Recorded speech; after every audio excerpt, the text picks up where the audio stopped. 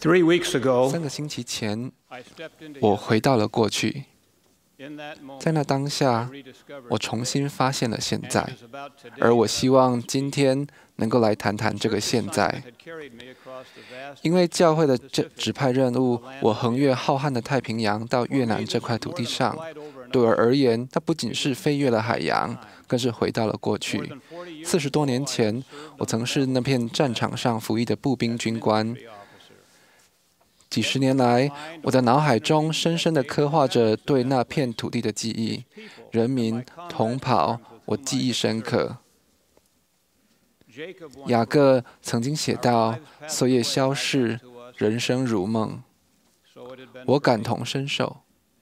如今，在经过几世纪、将近半个世纪之后，我从记忆的长廊走回记忆中的那个地方。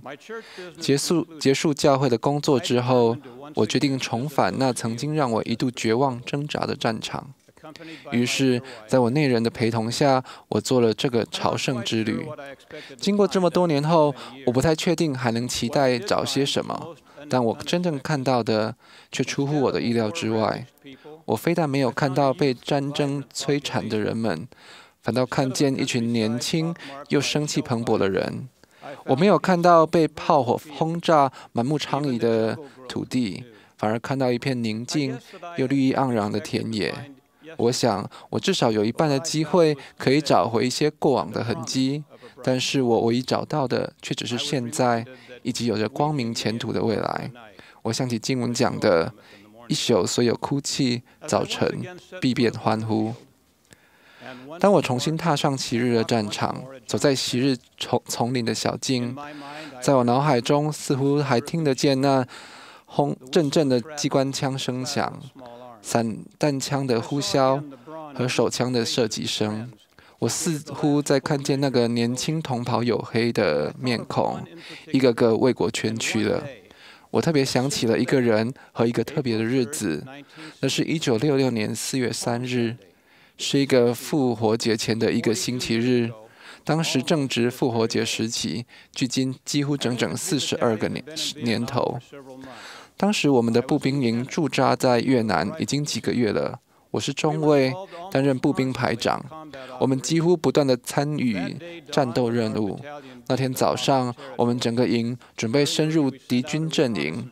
一大清早，我们派出十位侦察兵，其中有一位，他的名字叫做亚瑟·莫里斯，他是犹太籍的士兵。在那次的任务中，几个人受了伤。包括莫里斯中士，他身受轻伤。最后，这组侦察兵一跛一跛地回到营区。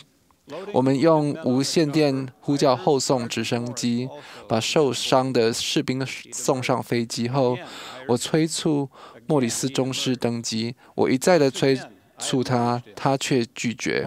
我又一次的劝他，他还是拒绝。最后，我对他说：“莫里斯中士，立刻登机。”他用很真诚、祈求的眼神看着我说：“求求你，长官。”然后这些话我永远记得。他们是杀不了像我这这样身经百战的家伙的。这整幅景象就像一幅摄人的战争场面，深深地印在我的脑海中。那块丛林里的空气，不耐烦的直升机螺旋桨声。驾驶员等待的眼神，我那个时候心软了，挥挥的手挥走了直升机，也挥走了他活下去的机会。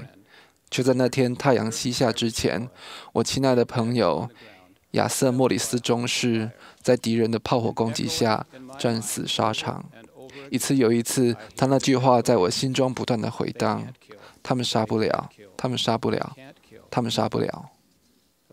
当然，从某个观点来看，他错得离谱。人是如此的脆弱，只要少了一次心跳或呼吸，就可能天人永隔。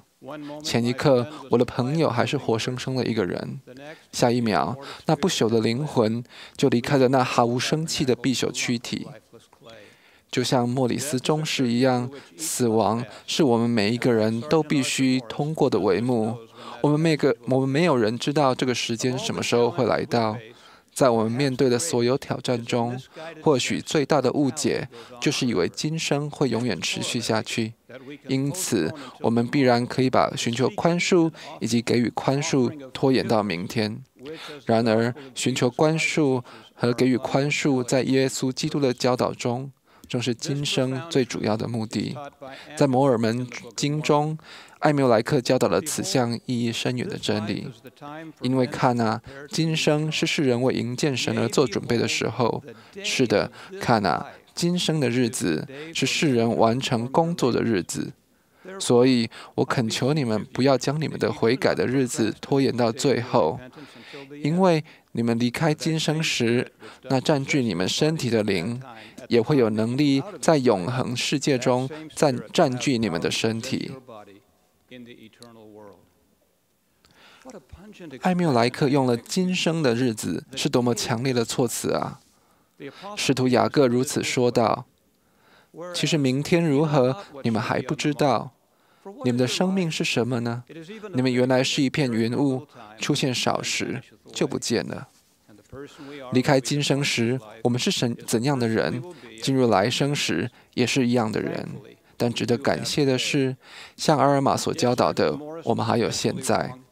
有一段时期赐给了世人，让他们悔改。”如果说莫里斯中是错的离谱，那他也对的厉害。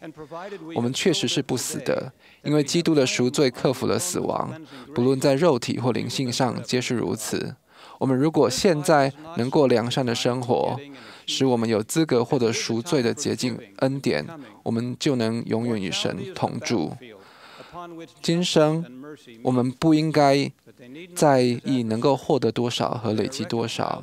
而应该在意付出多少和成为什么样的人。死亡就像是慈悲与公道交锋的战场，但是他们无需敌对，因为对所有善用今生日子的人而言，基督的慈赎罪早已为世做了调停。剩下的就是，只要你我都能够寻求宽恕和给予宽恕，从就能使我们通过救主为我们开启的那扇门，从今生跨进超生的门槛。就像陆家所说的一句深远的话：“你们要慈悲。或许今生我们无法成为完全，但是我们可以做到慈悲。到了最后，悔改和宽恕会是神对我们的首要要求。”我的朝圣之旅告一段落时，我看着现。